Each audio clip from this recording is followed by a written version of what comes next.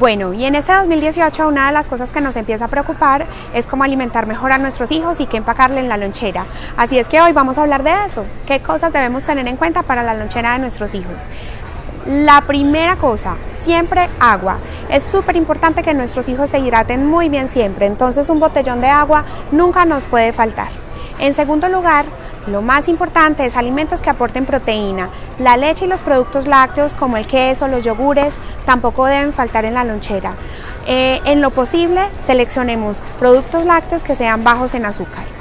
Otra cosa importante es que nunca nos pueden faltar las frutas, cualquiera de ellas.